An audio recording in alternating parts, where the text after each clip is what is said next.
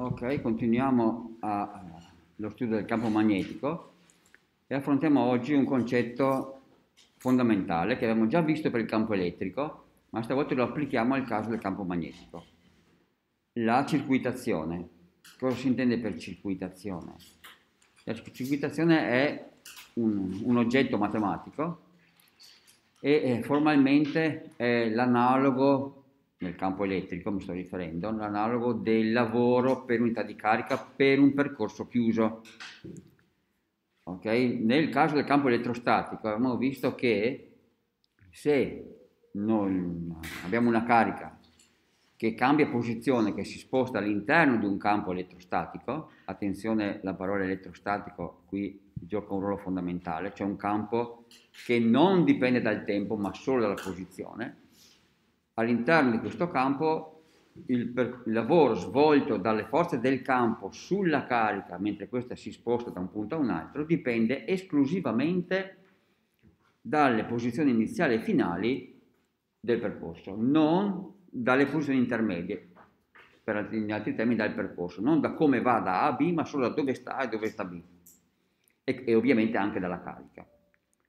Ok? Eh, un altro modo di dire la stessa cosa è che se il percorso fosse chiuso, la circuitazione del campo elettrostatico sarebbe zero, cioè il lavoro svolto dalle forze del campo per unità di carica sulla carica stessa darebbe un totale di zero, a patto che il percorso sia chiuso, a patto che il, sia, che il campo sia elettrostatico, cioè indipendente dal tempo quello che succederà nel caso di un campo dipendente dal tempo, cioè un campo elettrodinamico, lo vedremo prossimamente su questi schermi. Okay? Una delle caratteristiche dominanti nel caso del campo elettrostatico, che ne dà la natura conservativa, è il valore nullo della circuitazione del campo elettrostatico, che è quello che ci permette di dire esiste la funzione dell'energia potenziale e con tutte le conseguenze del caso. D'accordo? Che cosa succede se applichiamo la stessa cosa al... Eh, ah, qui, cioè nel caso del campo elettrico, scusatemi, lo ripeto, qui il percorso era chiuso, il campo elettrico dà, ha questa caratteristica. Il lavoro per spostare la carica da un punto allo stesso punto, quindi il punto iniziale e finale coincidono, dà un totale di zero. Abbiamo visto a suo tempo il perché. Questo mm, ente fisico, il lavoro, possiamo formalizzarlo con un, uh, a suo tempo in meccanica abbiamo definito che il lavoro che una forza svolge per spostare un oggetto da un punto a un altro vale per, il prodotto scalare tra forza e spostamento. Qui generalizziamo il concetto, in che modo? Beh, se durante lo spostamento la forza non dipende dalla posizione, è facile calcolarlo. Forza per spostamento mi dà il lavoro, festa finita. Ma se durante lo spostamento la forza cambia, cioè se ho un campo elettrico non omogeneo, allora non posso più fare una banale moltiplicazione scalare tra forza e spostamento, perché la forza non so quant'è, perché nel corso dello spostamento questa cambia. Allora cosa si fa? Si passa a una formulazione differenziale del tutto.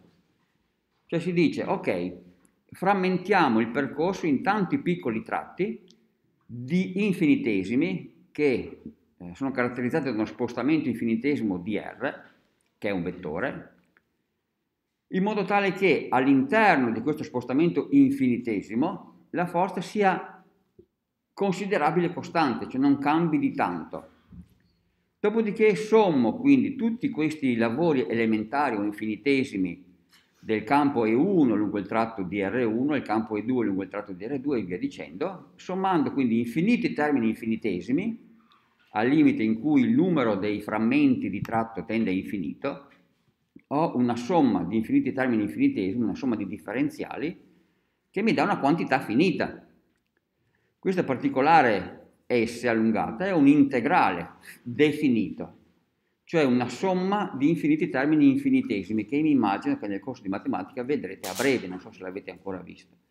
Di solito si va verso nella, decisamente nella seconda metà dell'anno, ma sappiate che questo simbolo indica questo particolare tipo di somma, quindi questo simbolo indica il punto di partenza, questo simbolo indica il punto di finale del percorso e questo è un differenziale calcolato in funzione di quella che è la variabile indipendente, che quindi in questo caso è la posizione. D'accordo? Se il percorso è chiuso, quindi se il punto di partenza e il punto di arrivo coincidono, quindi questo integrale di linea a questo punto si chiama, la natura fisica del campo elettrostatico ci dice guarda che questa somma di infiniti termini infinitesimi, quindi lavoro lungo il percorso chiuso, è zero. Questo particolare concetto matematico prende il nome di circuitazione. Che cos'è la circuitazione? La circuitazione è il calcolo di una particolare grandezza fisica calcolata sommando infiniti termini infinitesimi, per il motivo che vi ho appena detto, lungo un percorso chiuso.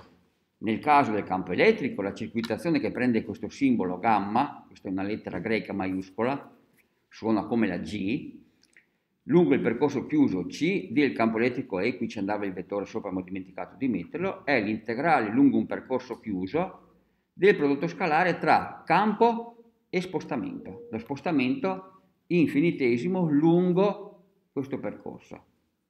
Ok, quindi questo immaginate di, torniamo un attimo indietro se preferite, ecco, un percorso chiuso di qualsiasi tipo, qui è in tratti radiali e tangenziali perché è più semplice, ma in realtà potrebbe essere un percorso chiuso qualsiasi. E lo spostamento è tale che lungo quegli spostamenti infinitesimi di R il campo elettrico E posso approssimarlo come costante. In realtà questo, anche se uso il termine approssimazione, è un calcolo esatto. D'accordo? Questa è la potenza dell'analisi, tutto sommato.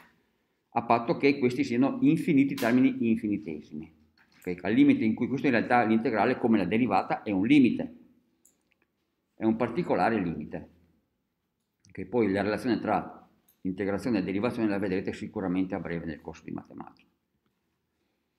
Che cosa succede nel caso del campo, nel caso campo elettrostatico? Abbiamo visto che la circuitazione è zero. Che succede nel caso del campo magnetico? Meglio, mi correggo, nel caso del campo magnetostatico per adesso. D'accordo? Beh, prendiamo un caso semplice che abbiamo visto diverse volte nelle lezioni precedenti, il caso del campo magnetico prodotto dalla corrente che percorre, una corrente costante, che percorre un filo rettilineo trascurando gli effetti ai bordi, quindi idealmente infinito. Questa produce linee di campo, di, di campo magnetico, che sono delle circonferenze che stanno su un piano e sono concentriche al punto in cui eh, il piano del, di campo interseca il filo.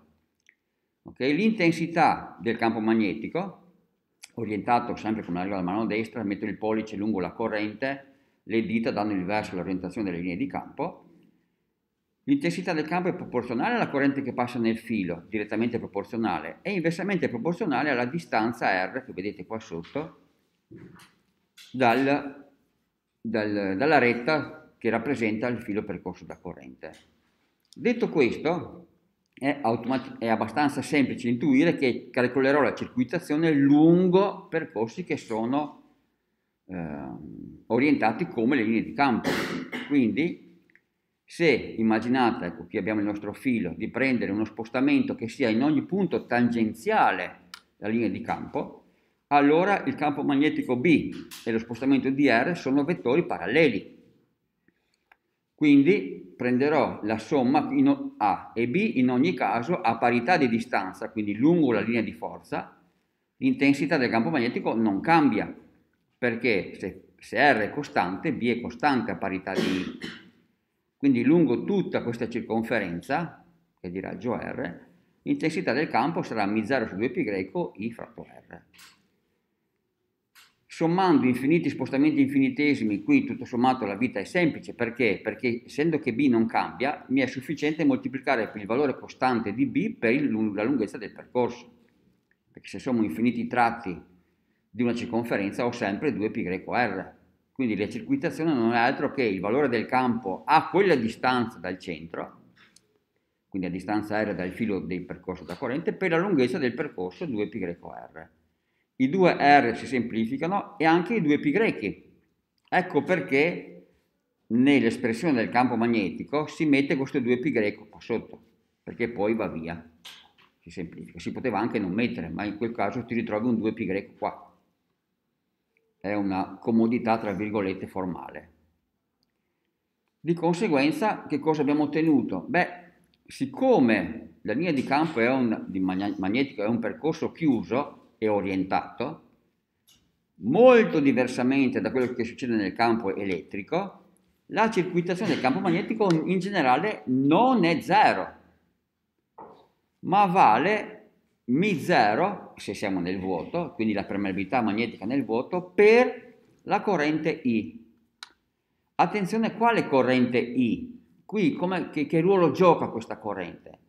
La corrente I si dice, si chiama corrente concatenata al percorso. Qui stiamo integrando il campo lungo una linea di campo, ok? Lungo una circonferenza. Quindi ho un percorso chiuso, d'accordo? Qui l'R si semplifica, d'accordo. Ma la corrente I che figura a destra della circuitazione è la corrente che ha questo significato. Immaginate una superficie che abbia il mio percorso di integrazione come bordo, quindi in questo caso un cerchio. Ok? La corrente I concatenata al percorso è la corrente che perfora questo percorso, questa, questa superficie. Quindi la corrente che attraver- netta che attraversa la superficie che ha il percorso come bordo, quella è quella concatenata. Vediamo se poi, ecco qui, perfetto. Qui, se prendo il campo magnetico in, lungo questo percorso, d'accordo? E la corrente I che attraversa questo, che attraversa il, quindi al centro di questa circonferenza, ottengo la stessa circuitazione di quella che otterrei lungo un percorso di questo tipo. Perché? Perché la corrente concatenata è la stessa e di fatto, eh, sì, non è difficile dimostrarlo, ma ahimè richiede teoremi sull'integrazione che per adesso è meglio non mettere in campo, uh, l'integrazione che mi porta al calcolo della circuitazione, non dipende anche qui da quale scelta faccio sul percorso, ma solo dalla corrente concatenata, cioè dal fatto che ci sia o meno e quanto vale la corrente che attraversa la, la sezione che ha il, il percorso di integrazione come bordo. Quindi se io prendo questo percorso M, questo qui in giallino, la circuitazione sarà μ0 volte I.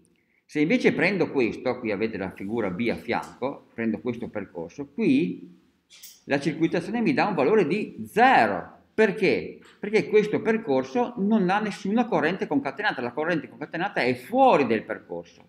Cioè questa corrente non buca questa superficie, ne buca un'altra. Io cerco di usare termini semplici per farmi capire, anche se in realtà uh, non è molto tecnico questo. Ecco. Il concetto di, con- di corrente concatenata ha questo senso se sono in una zona dove c'è un campo magnetico, costruisco un percorso chiuso, tutto sommato indipendentemente da che forma ha, basta che sia chiuso. Immagino una superficie che abbia quel percorso come contorno e mi chiedo, questa superficie è attraversata da una corrente? Se sì, allora la circuitazione dà un valore che sarà μ0 volte la corrente concatenata. Attenzione, se le correnti sono più di una, alcune posso, possono contribuire con un segno positivo, altre con un segno negativo. Come mi regolo? Sempre con la regola della mano destra. Ok, tra un attimo lo vediamo. Eccolo qua. Eh, ci sono domande su questa figura, è chiaro qual è il significato? La circuitazione del campo, questo si chiama legge di Ampère, André Marie Ampère si è occupato a lungo del campo magnetico eh, e degli effetti magnetici della corrente. La gamma C significa circuitazione del campo B lungo il percorso chiuso C.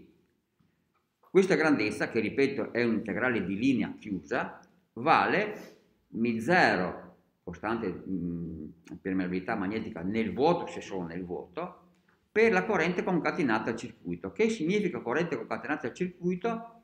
La corrente elettrica che attraversa la superficie che ha come bordo il circuito. È chiaro? che succede se ho più correnti? Ho focalizzate la figura A, questa in alto a sinistra. Qui abbiamo un percorso in arancione, d'accordo? E qui abbiamo quattro correnti che attraversano il circuito. La prima di 2 A entra dall'alto verso il basso e quindi se io prendo la regola della mano destra, ok, che va quindi in senso in questo caso antiorario, il verso positivo è quello verso l'alto.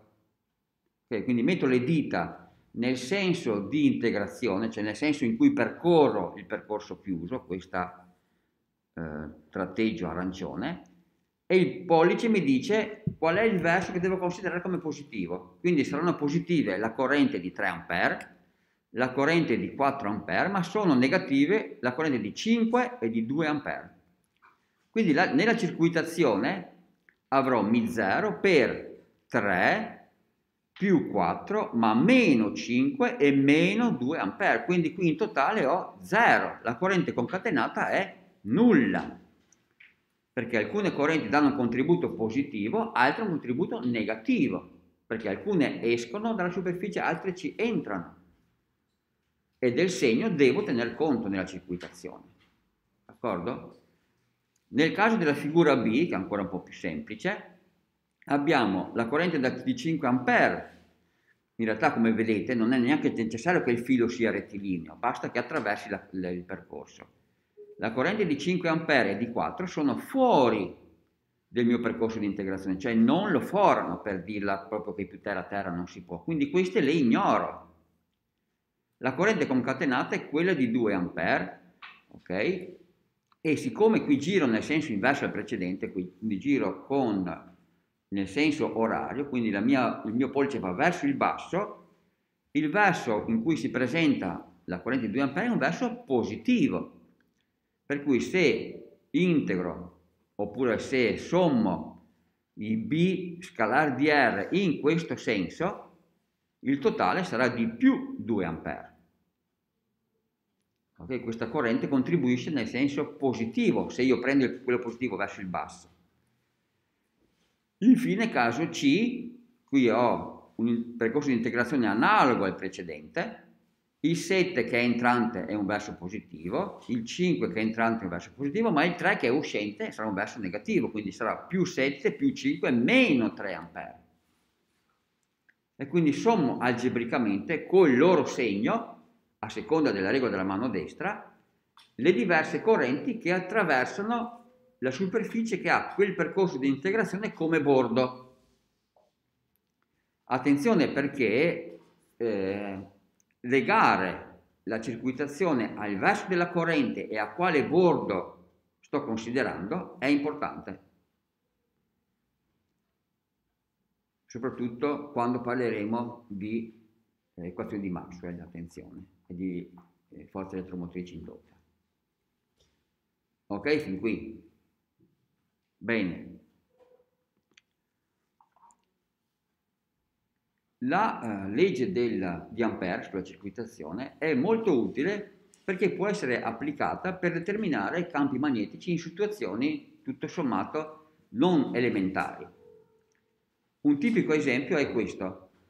Abbiamo visto che una spira, fatemi tornare un secondo indietro fino a dove eravamo con la spira, eccola qua. Il campo magnetico prodotto da una spira ha una forma di questo tipo, piuttosto complessa abbiamo visto qual è l'espressione del campo magnetico al centro della spira. Immaginate di prendere un filo metallico dove passa corrente e di avvolgerlo lungo una struttura cilindrica. Quello che ottenete è questo oggetto che prende il nome di solenoide. Cos'è un solenoide? Un solenoide è un avvolgimento di filo metallico atto a portare corrente, a trasportare corrente, avvolto in modo tale da formare un cilindro, quindi che ha un asse di simmetria, quindi dove la sezione è un cerchio che ha sempre le stesse dimensioni. Questa particolare struttura, questo particolare tipo di avvolgimento si chiama solenoide. È chiaro che il solenoide equivale a tante spire magnetiche, spire, spire di percorso da corrente affiancate l'una all'altra, d'accordo? Immaginate di avere n avvolgimenti, n maiuscolo avvolgimenti, lungo un tratto L grande che è la lunghezza del solenoide stessa. Quello che si, di fatto si verifica è che possiamo andare per esempio a graficare o a sondare la struttura del campo magnetico all'interno del solenoide, avremo un campo magnetico abbastanza approssimativamente, come vedete nella figura qui sotto, questo è un disegno, questa è una foto reale, un campo approssimativamente omogeneo, cioè all'interno del solenoide le linee di campo magnetico sono rette parallele ed equi, equi, equidistanziate. Qui nel disegno si fa vedere che in realtà questa approssimazione non è proprio ideale, perché? Perché ci sono gli effetti ai bordi. Immaginate un campo magnetico molto lungo e con uh, spire molto dense l'una vicino all'altra, questa situazione è ben approssimata da un campo magnetico omogeneo, d'accordo? Che ricorda quello di un magnete naturale. Ecco perché si dice, dato il parallelismo, noi, in, c'è motivo di ritenere che anche all'interno di un magnete naturale, cioè di una calamita, le linee di campo magnetico continuano. Perché? Perché è esattamente quello che fanno nel caso del solenoide, che è un, se, se, se, se mi concedete il termine, è una elettrocalamita, cioè una calamita prodotta per effetti elettrici.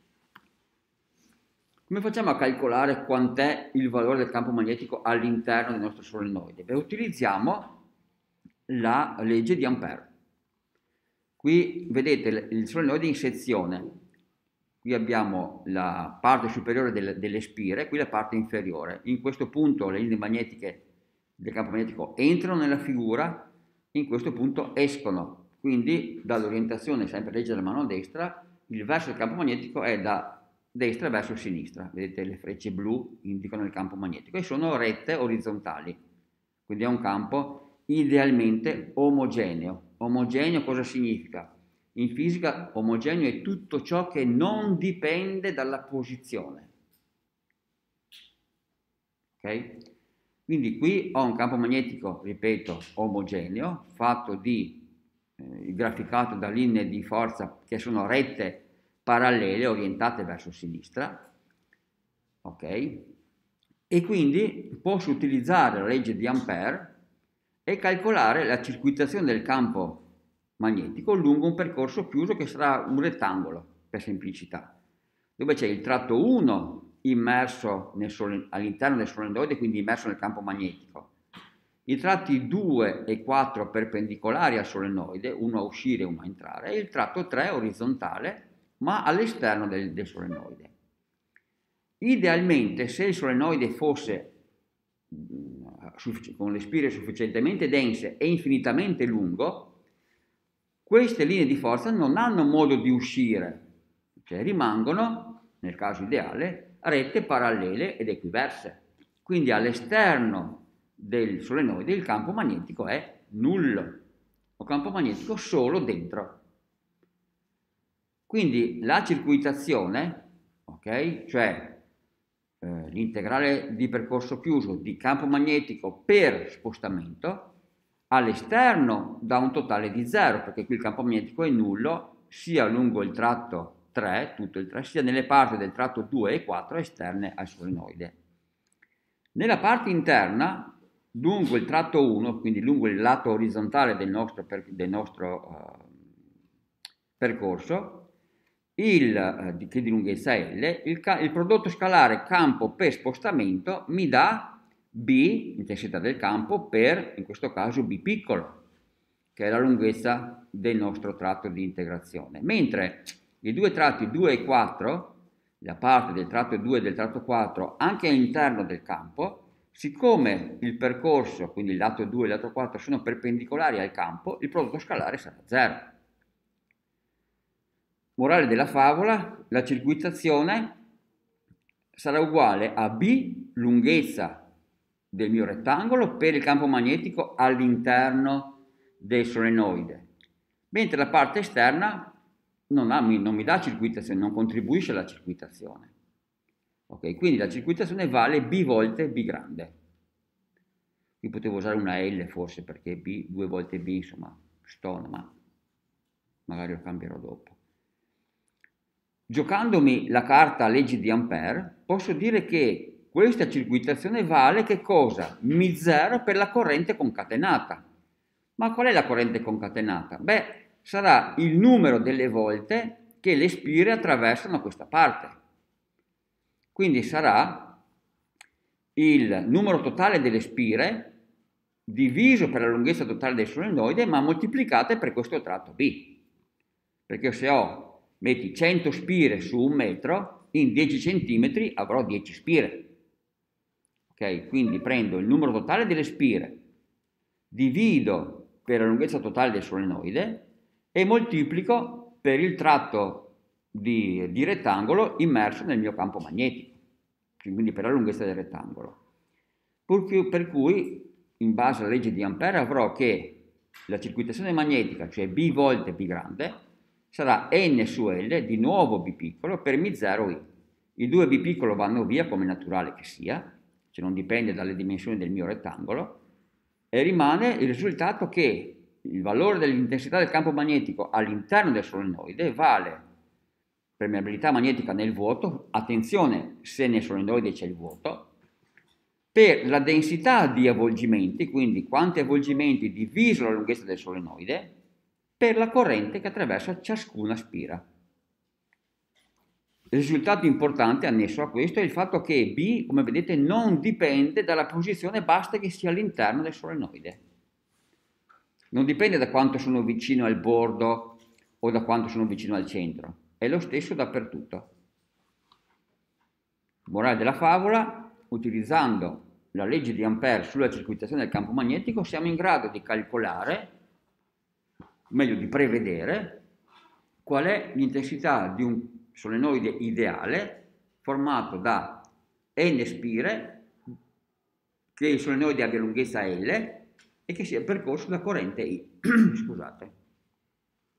Questo campo è un campo omogeneo, quindi che non dipende dalla posizione all'interno del solenoide, formato quindi da linee di campo che sono rette parallele, cui, la cui orientazione è coerente con la convenzione della regola della mano destra, e la cui intensità vale la, la permeabilità magnetica nel vuoto Mi0, 4 pi greco per 10 alla meno 7, eccetera, eccetera, per la densità di linee di, di, di avvolgimenti, numero di spire diviso la lunghezza del solenoide, per la corrente che passa in ciascuna spira.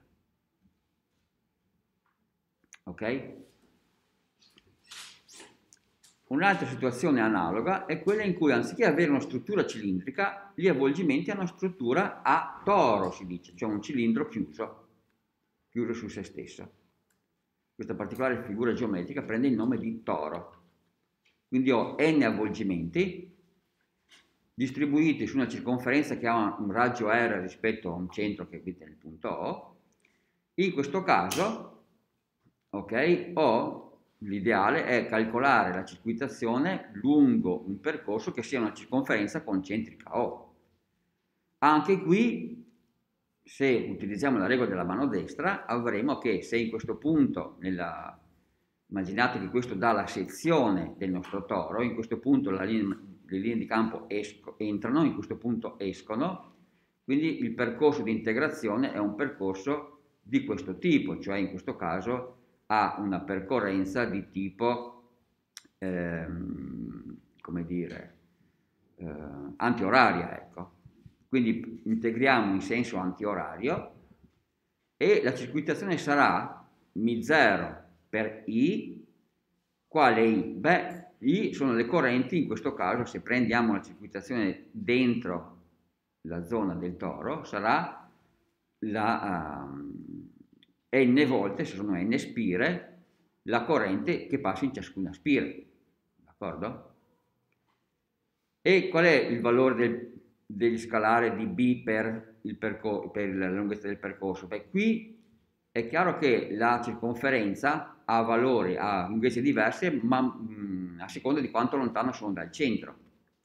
Di conseguenza avrò l'intensità del campo magnetico B sarà omogenea, perché dipenderà solo dalla distanza dal centro. Il percorso ha una lunghezza che è 2πr, dove r grande è la distanza da, è la distanza da O, quindi il, questa somma di questi prodotti scalari infinitesimi mi darà b per 2πr, che sarà uguale, legge di Ampere, μ0 per tutte le correnti concatenate, che sono n, se n sono le spire, per i correnti di ciascuna spira.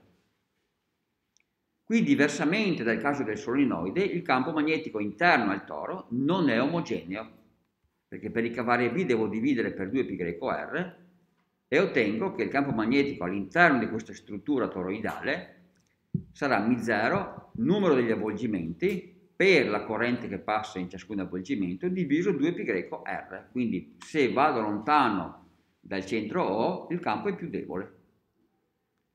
Ok?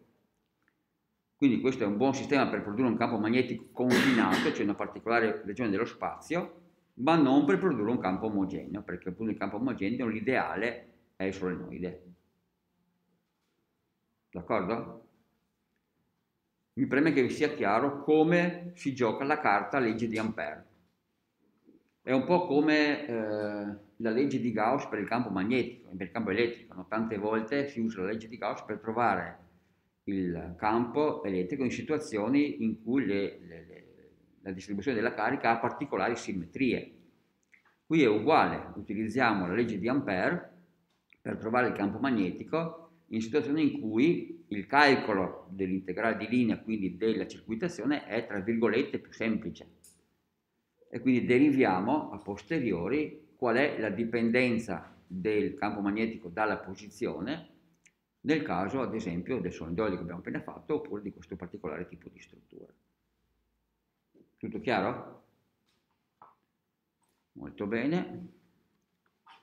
Qui ritorniamo a vedere l'analogia tra il magnete naturale e il magnete artificiale o, o elettromagnete se preferite e quindi dall'analogia delle linee di campo nella zona esterna all'elettromagnete e alla calamita uno deduce che probabilmente anche all'interno, è ragionevole ritenere che anche all'interno della calamita le linee di campo magnetico si mantengano, cioè seguono la stessa storia, cioè si chiudano all'interno del, uh, del, del magnete naturale, quindi che non si interrompano ai due poli.